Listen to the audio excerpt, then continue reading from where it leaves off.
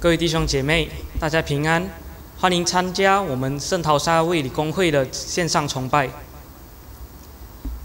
诗篇六十二篇一到二节，我的心默默无声，专等候神。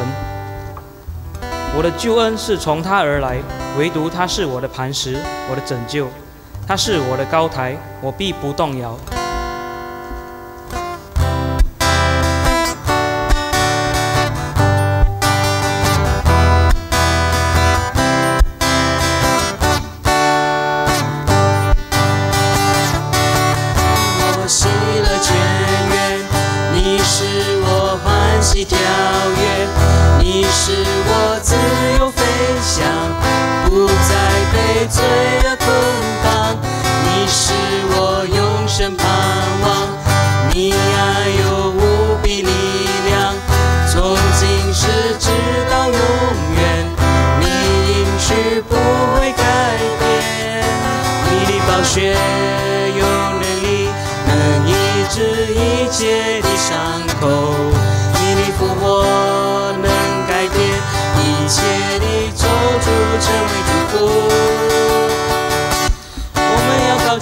shimmy.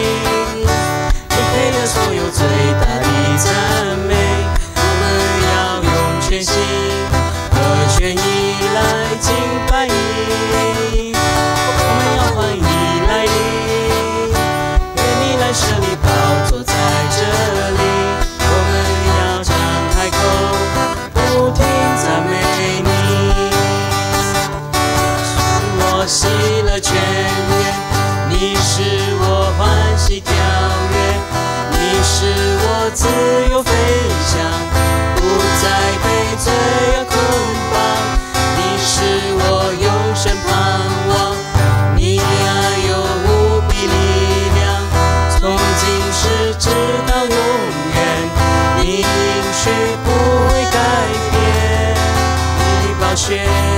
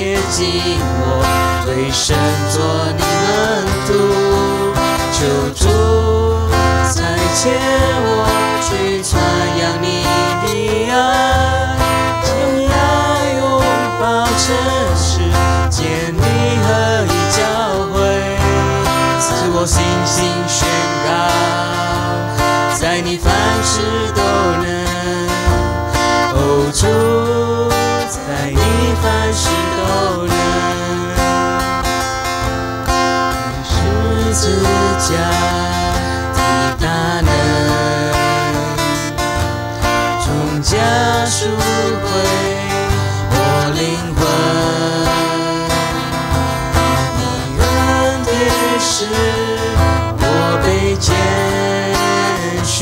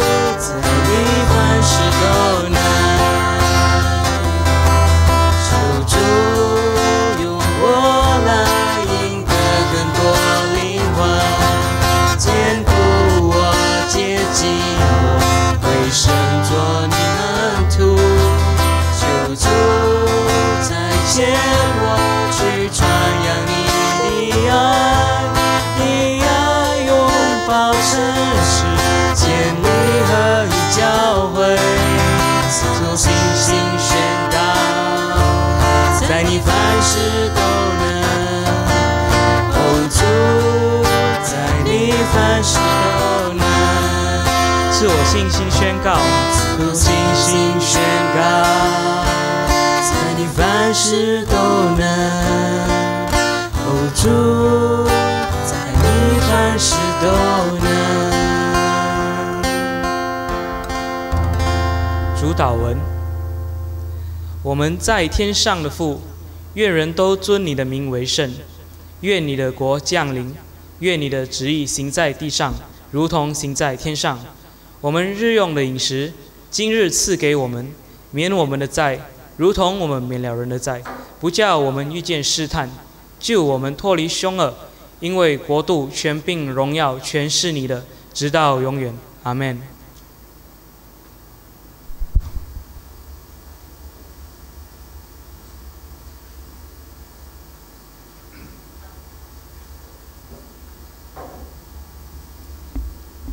主内弟兄姐妹们平安，我们同心祷告。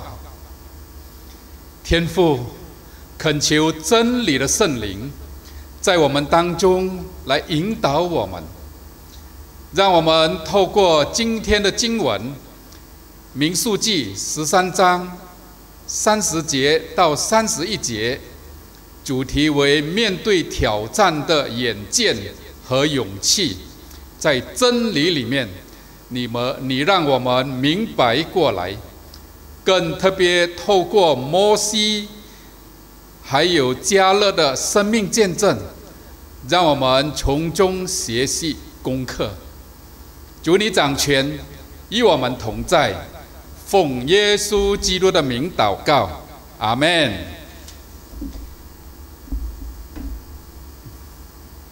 弟兄姐妹。那今天何传道要分享的经文是起自于民数记十三章三十节到三十一节。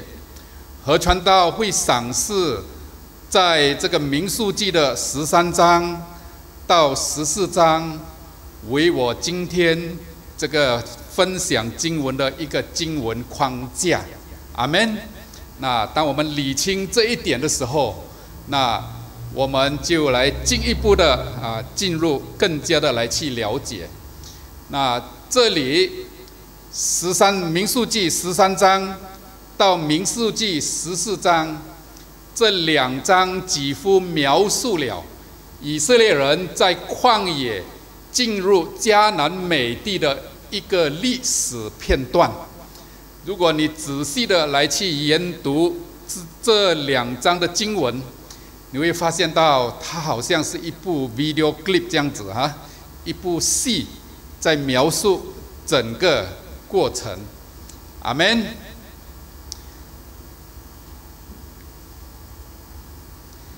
那经文十三章啊，经文民数记十三章三十到三十一节如此的记载，那何传到都弟兄姐妹们，请聆听。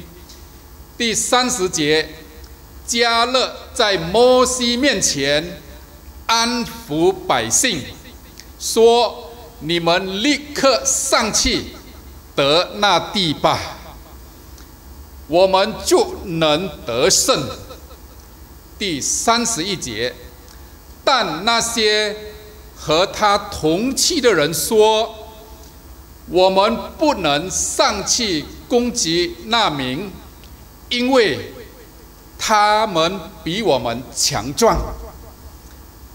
那弟兄姐妹，这两处的经文，那带出一个非常强大的这个人事张力。在三十节，我们看到这个是加勒的的这个一个回应。那另外一方面，三十一节呢，是另外十一个探子，包括以色列人的这样的一个回应。那因此，一方面讲可以去，一方面讲不可以去。那弟兄姐妹，因此产生了一个极大的人事张力在这里。弟兄姐妹，不知道你认同吗？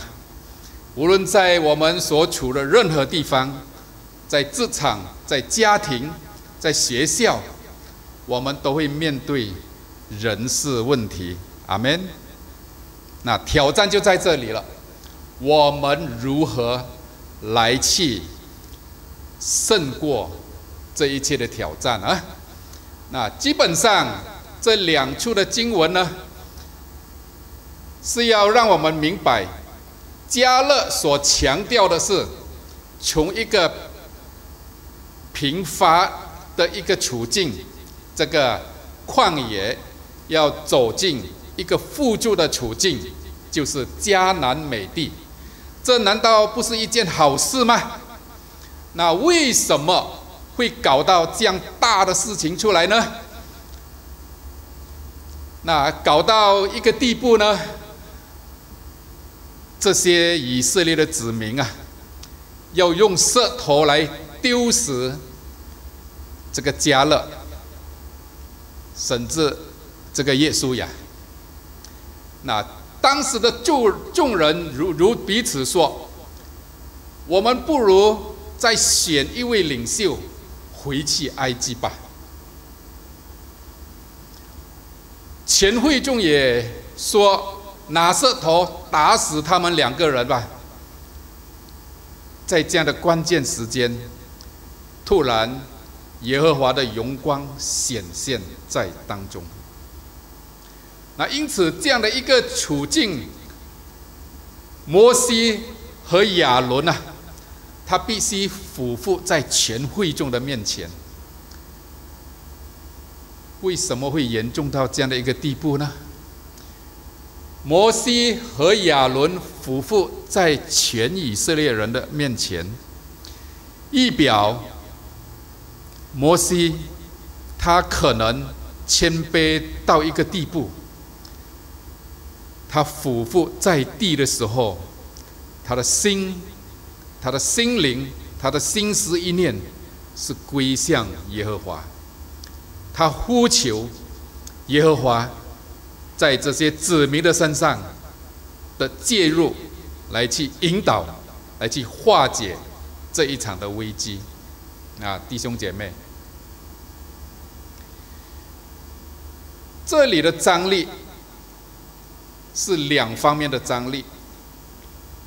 加勒看得很清楚，这是一条带着祝福和盼望的一个方向，就是耶和华他是信实的，虽然在过程当中有挑战、有拦阻，但始终在这个加勒的过去的记忆当中，他回想到这个上帝是信实的，他的恩手一次又一次的引导以色列人胜过一切的挑战，胜过没有水源，胜过没有事物吃，胜过天气，胜过被这个法老王的兵追赶的时候，他们经历了神迹奇事，跨过红海，进入旷野。这难道不是加勒和以色列人所经历的宝贵经验吗？啊，从另外一方面，在这个探子，就是当时摩西从上帝领受了一个清楚的意象。耶和华小谕摩西说：“你要选出十二支派的这个领袖。”能够代表他们的民族去到这个迦南去做这个探索的这个工作。那在十二个这个探子的当中，他们回来十个所给的是负面的消息，而这个加勒。是清楚的看见是有盼望的迦南美地。这些探子，这十个探子和这个以色列的子民，他们描述他们到一个地步，那里的这个子民非常的强大，特别是这个亚纳人。亚纳住的这个子民非常的高大，如果比起他们来讲，他们好像是蚱蜢一样。我在想啊，为什么他们会用蚱蜢来描述呢？我也尝试查很多的这个啊解经书，几乎他们都跳过这个蚱蜢的解析。那我只能回想到我小时候在乡下成长的过程。当我走到这个蚱蜢的这个有蚱蜢的地方，我们一去到呢，这些蚱蜢呢都会跳，都会飞，满天飞。他们这个蚱蜢无法面对我们这样一个高大的人，他们只好跳去别位，飞去别位。我看意思。就是这样的一个解析吧啊！蚱蜢它从来都没有攻击过我了哈，在我啊小时候的成长过程中，在乡下的成长过程中，那弟兄姐妹，因此这些以色列的子民啊，听从了这些十个探子。所传递的这样的一个消息，以至于他们被恐惧吓到，惧怕到一个地步呢？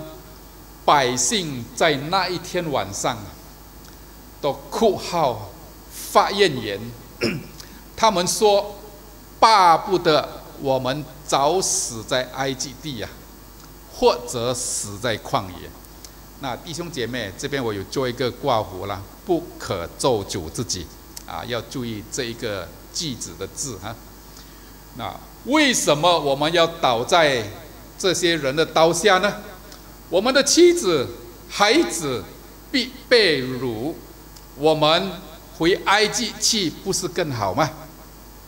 啊，众人彼此都说，我们不如再立一个首领吧，回埃及去吧。弟兄姐妹，我们可以看见到一个人，这一群的人，就是以色列人，他们虽然从埃及过红海，走到这个旷野，他们经历到许多的神迹奇事，他们竟然到今天仍然有这样的一个消极的回应。那这里给我们看到一个非常现实的处境：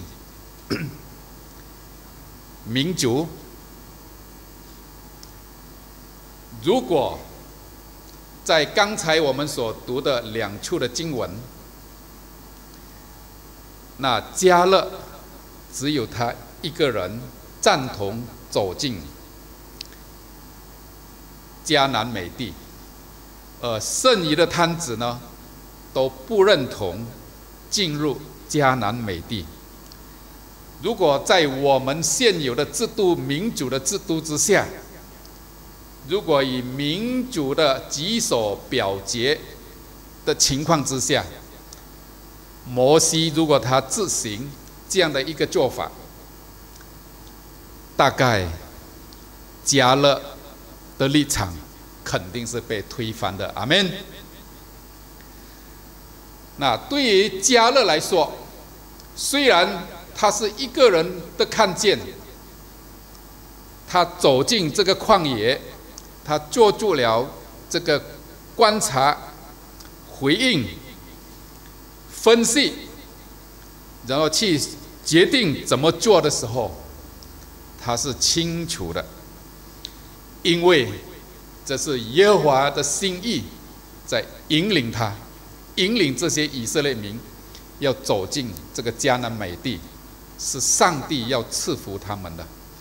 说，因此加勒这一位的年轻人，在他的内心里面有一股强大的呐喊的声音，就是不可违背上帝的旨意。说，因此加勒在这里。给我们看到，他有神主权的信心，不是以多数人为民主的决定。这里我们也看到摩西这一位有智慧的领袖、属灵领袖，他也谦卑到一个地步，能够接纳加勒的。这样的一个属灵的看见，阿门。那这里我们就要来看面对挑战的眼见和勇气。那人生不可少的这两种的生命的特质，就是我们要有眼见，我们要有勇气，阿门。这是宝贵的。那民数记十三章第六节，在这个一开始的时候，十三章一开始的时候，耶和华小谕摩西，要拣选十二个探十二个支派里面的这个族长，就是族群里面的领袖，那去做这个。归探迦南地的这个工作。那加勒他是属于犹大派的这个族长，就是民族当中的族长。那这里有十二个支派。那我用简单的我们的这个马来西亚华人的一个风俗习惯来表达。以至于弟兄姐妹们能够更加的明白，说，比如说，我们有姓李的家族，我们有姓陈的家族，我们有姓王的家族，阿门。说，加勒就是代表其中的一个家族，受到这个摩西的委派，进到迦南美地去做探索的工作。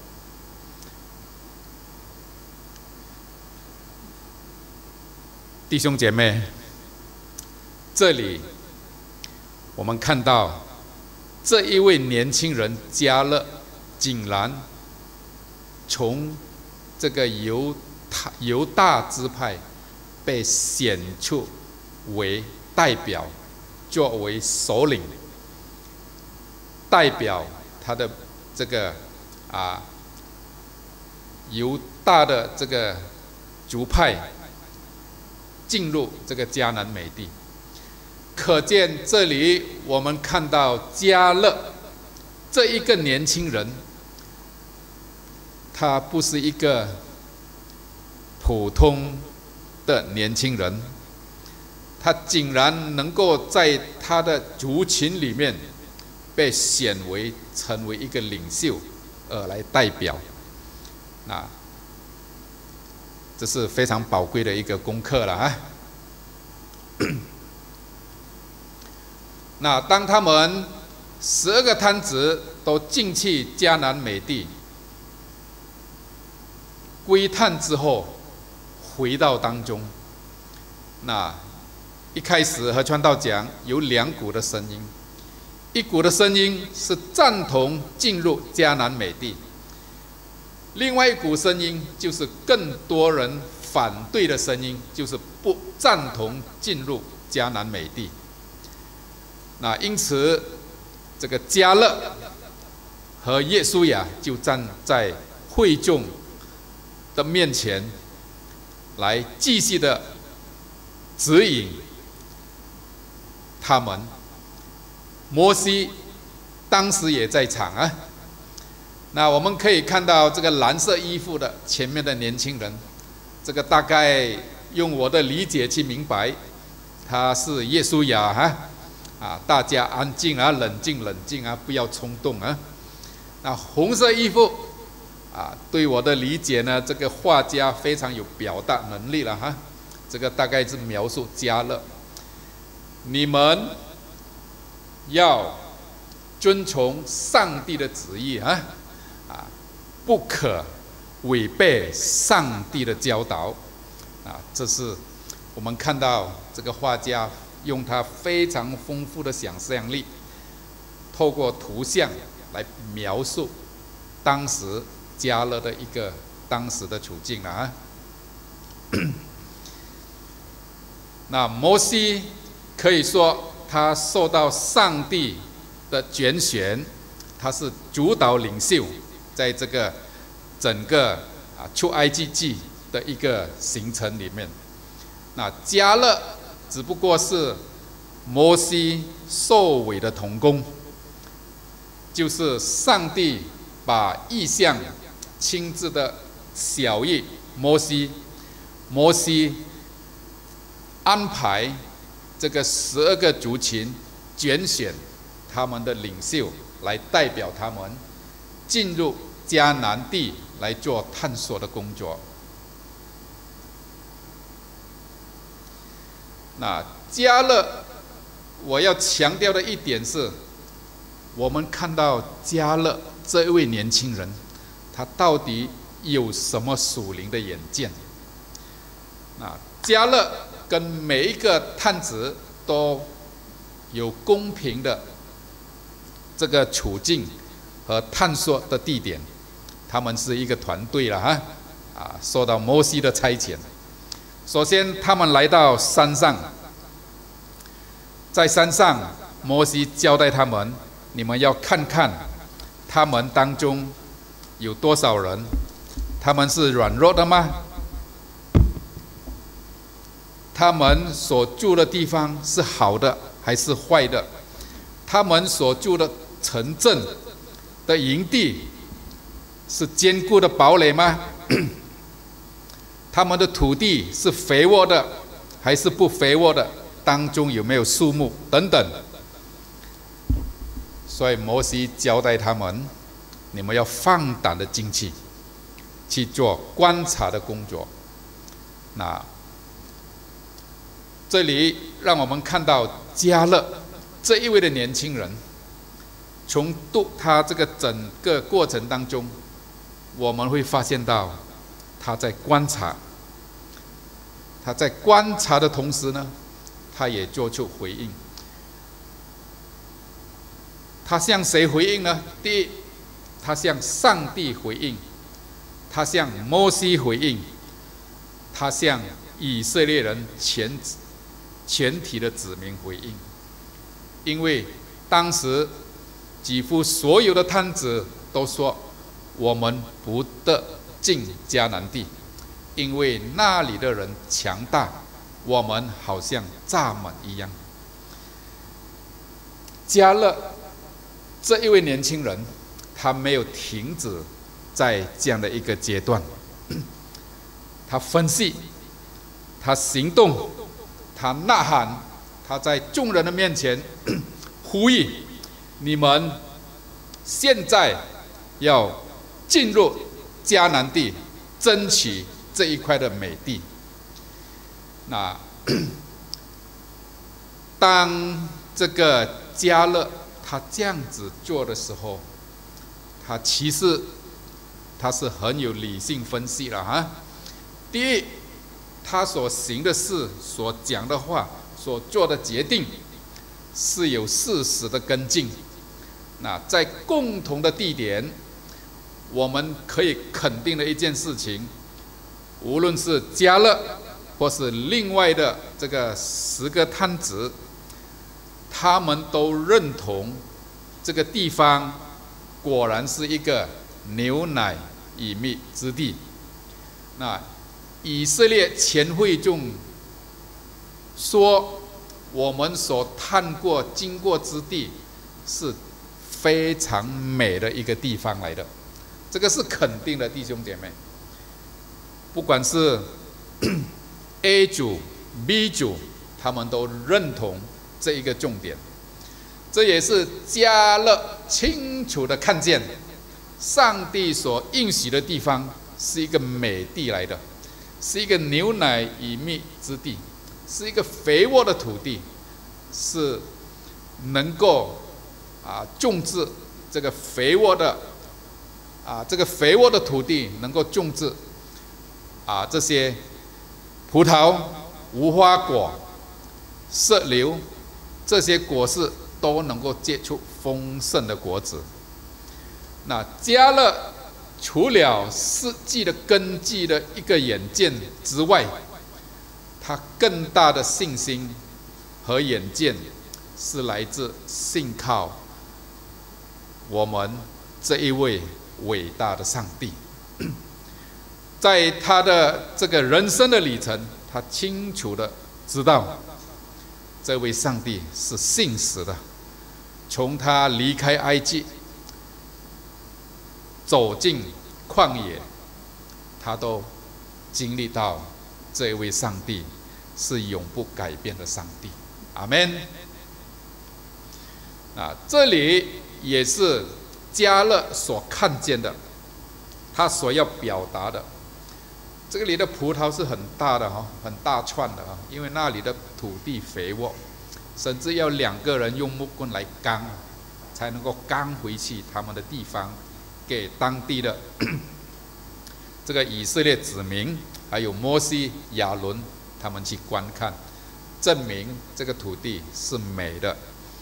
那其他的探子也同样的认同，阿门。那加勒的勇气在哪里呢？加勒的勇气是基于他对神的一个信实，他的经历告诉他，这一个神是信实的，这在他里面产生了一股强大的勇气。更清楚的一点，就是加勒他有一个正确的态度。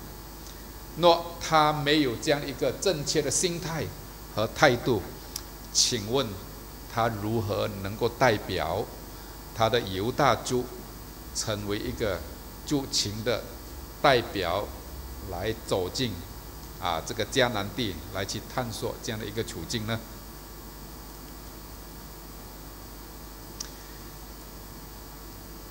这里让何川道也。跨出到耶稣雅记来看加勒四十五年后的回忆。我们很多时候能够明白自己的这个夸胜、勇气和当时的眼见，都是我们走过这条道路之后，回头一看，我们才能看得明白。阿门。在过程的当中，无论是你，是我，是以色列民，他们都是在挣扎的弟兄姐妹。这里记载着加勒四十五年后的一个回忆，清楚的回忆。当时耶和华的仆人摩西打发我归探这地，这个我，这里是一表加勒。那时我正是四十岁，加勒在那个时候了哈，被差出去做探子的时候，他是大好年轻来的，才四十岁而已。我按照心意回报他，就是加勒很肯定的，以真诚的心，按照摩西的差遣，成为探子，进入迦南美地，以至于加勒忠心的，在他当做的这个工作上，他尽责的去分析、去观察、去回应、去行动，甚至不停的跟进，向这个以色列民对话，严重到一个地步，差差一点被这个以色列人以色列人的这个子民用石头打死。那这个加勒竟然能够做到这一点啊！然而我上去，然而同我上去的这个众弟兄了啊，使百姓的心消化了啊，就是他当中还有另外的十一位的摊子，他们的心因为回来报告的消息，几乎使以色列民的这个信心被消化掉了哈。这里加勒他坦诚的说：“但我啊，加勒专心跟从耶和华我的神。”弟兄姐妹，这里给我们看见，面对挑战，面对人事问题，那焦点是很重要了啊！这里给我们看到加勒，他专心的把焦点仰望在耶和华，就是我们的神，我们的上帝。阿门。那当加勒回忆四十五年后的时候，他还清楚的记得，当天摩西启示说：“你脚所踩之地，定要归于你和你的子孙，永远为业，因为你专心跟从耶和华我的神。”这里给我们看到这一位摩西属灵的领袖，他第一个做对的地方就是，他不以多数为标准的一个决定，也就是他不认为民主是做决定最好的方式。相反的，摩西这一位属灵领袖，他聆听加勒所传递的这个迦南美地的一个报告，最终他认同这个加勒有他的属灵的眼见，还有他身为一个年轻人的一种内在的勇气。那摩西仍然选择使用这个加勒，还有加上这个耶稣亚，成为一个领导者，带领最终带领这个以色列民进入迦南美地。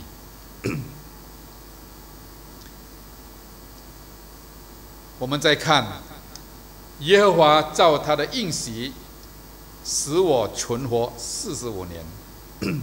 这个经文记载在耶稣亚十四章十节。现今的加勒，就是加勒，已经八十五岁了，弟兄姐妹，从四十岁回应这样的一个呼召，被差遣。成为探子，被差遣进入迦南地，做这个探归探的工作。终极这个加勒，他能够面对挑战，是因为这一位年轻人，他有他自己属灵的眼见，还有他的勇气。他的勇气是归纳于他过去跟从摩西，从埃及进入旷野的一个真实的属灵经验，也就是上帝，他就是那么的真实，在没有水的时候，上帝供应水；在没有事物的时候，所有的子民在呐喊的时候，上帝赐下玛瑙供应。他们啊，每一天的需要，这些都是加勒在这个挑战过程所经历的一个宝贵又真实的经验。阿门。何川道刚才开始有说，不可咒诅自己。来到这个加勒八十五岁的时候。因为这些以色列子民，他们发怨言，他们咒诅自己，咒诅自己的名著。来到这个时候，我们看到他们从自己口中所发出的咒诅，成就在他们民族的身上。在这里，我们看见，凡二十岁以上的。他们都死在旷野，尸体倒地在旷野。弟兄姐妹，在我们的日常生活中，我们有意或者无意中都会听到人他会咒诅自己。这里清楚的告诉我们，不要咒诅自己。阿门。免得像这一般以色列人死在旷野啊，尸体都倒在旷野。原本按照上帝的这个奇妙丰盛的旨意，他们这些子民都要进入迦南美地，享受那丰盛奇妙的恩典。弟兄姐妹和传道再一次的提醒，不可咒诅自己，阿门。那讲到这里，我们应该做出一些神学思考和反思，那以至于我们要如何透过这个加勒，透过摩西，他们面对挑战的严谨。眼见和勇气，成为我们生命的祝福。加勒面对挑战的严谨和勇气，那虽然他在他的眼前面对着极大的困难与挑战，特别是人事关系，因为几乎所有的人都反对他。的属灵眼光和看见，因此不认同这个加勒说我们可以进入这个迦南美地，因为这是美地来的。这些极大的大人，亚纳人、亚纳族人，以色列这个十一个探子描述说，他们对比这个亚纳人的时候，他们是蚱蜢啊。而传道一开始有讲蚱蜢嘛，当你向前走去的时候。这些蚱蜢啊，我们福建人讲的啊，夹到波这样子了啊，飞了啊。那对于加勒来说，这些亚纳巨人啊，是我们的事物来的。说信念的不同，因为它的基础建立在耶和华的信实。阿门。摩西身为一个属灵领袖，主导整个以色列人出埃及，进入旷野。摩西在非常时期的时候，整个以色列人在乱的时候，他仍然以一颗安稳的心，跟亚伦夫妇在地呼求上帝。的介入，改变人心，人做不到，唯有求靠神。阿门。我们更清楚的看到，摩西，他没有因为加勒的个人的属灵的眼光和看见，搞到一团糟的人际关系，而把这个加勒。开除掉，啊，炒掉他哈，炒到家了就没有事情了嘛，就安稳，因为大多数的人不认同进这个迦南美地嘛。摩西这一位属灵领袖，他不一样啊，他仍然清楚的知道这是上帝所赐的清楚的印象，因此他尊敬和支持这个加勒。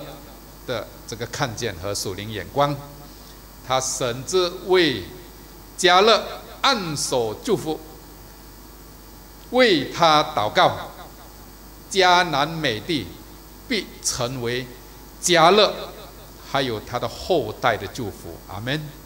那因此，一个属灵领袖的祝福，在这里告诉我们是何等的宝贵。摩西。他没有因为民主而拒绝啊这个加勒，而赞同多数的以色列人的看法。这里摩西的眼光和焦点是在上帝、神的主权、神的旨意，他顺服在当中。就算只有这个加勒和耶稣亚，他们的看见进入迦南美地。那来到教会层面，弟兄姐妹，我们也难免在领袖层面的时候，摩西的属灵领袖和眼光，成为我们的一个学习榜样。因此，当多数人赞同一件事情的时候，而另外一边，我们只是一两位领袖认同另外一种的做法。在这样的情况之下，请问，请问，身为教会的领袖，你要走什么方向呢？你是选择神的主权吗？你是选择民主的主权吗？那因此，求天父赐给我们每一位领袖牧者有属天的智慧，来去做合适的判断。阿门。那在个人层面。我们不要被困难恐吓到一个地步，还没有去做的时候，我们选择放弃。不要这么做，弟兄姐妹。加勒他没有这么做，那因此在这个整个我们的信仰的过程，这是一个重要的基础。我们的信仰透过加勒的生命见证，告诉我们说。我们的神是与我们同在的。我们要维护我们的家庭，建立合一的家庭。阿门。在这样的一个整个过程的当中，其实我们在被教导一个非常宝贵的功课，这个也是一门的教义。呃，这个教义呢，我们是要传承下去。我们要尊荣上帝，我们要明白上帝的旨意，我们不能被这个挑战拦阻，以至于我们无法前进。更何况今天的处境，我们很多弟兄姐妹，你们都为着你们的事业打拼。这里告诉我们说，透过加勒的生命见证，他的眼见，他的勇气，告诉我们，你要仰赖我们的上帝，他是信实的，哪怕是多数的人不认同你的看法，但如果你是很清楚你的这个。神所要引导你的意向和方向，那加勒是你和我学习的榜样。在这里，从另外一个角度来看，我们也不能够偏行己路，以至于我们坚持我们个人的立场，告诉其他人说我的是对的。在这个一个过程的当中，何传道相信，透过祷告，透过群主的这个对话交流，在分析，在观察和从上的回应，下的回应，我们同心结合这样的一个理念，找出一条最适当的道路，这就是我们要从当中。学习的宝贵功课，阿门。面对挑战的眼见和勇气，将成为我们一生学习的功课。可能你现在不明白为什么会有这样多的挑战。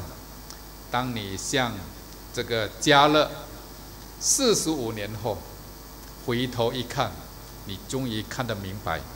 我们的上帝，他是信实的，他的恩手牵引你，终极有一个目的，就是要引领你进从旷野进入迦南美地，从贫穷缺乏进入一个更丰盛的生命。阿门。透过我们的信仰、家庭的合一，这个信仰教育的传承，无论在我们的事业、家庭。教育都同步成长，尊荣上帝的名，阿门。弟兄姐妹，这时候我要呼吁所有的弟兄姐妹：你在面对挑战吗？你在面对人事关系的这个难题吗？大到一个地步，像加勒这么样，几乎所有的人。都在不认同你的一个看法，但你很清楚的，你的看法是正确的。这时候我呼吁你站起来，牧者要为你祝福祷告，好像摩西为加勒祷告。阿门。你有这样的挑战吗？请你站起来。虽然我看不到你，但神是信实的，他与你同在。阿门。这时候，凭信心领受牧者的祝福与祷告。天父，这时候我奉耶稣基督的名宣告，你就是那一位又真又活的神，你是与我们同在的神，你是牵引我们突破各种的挑战。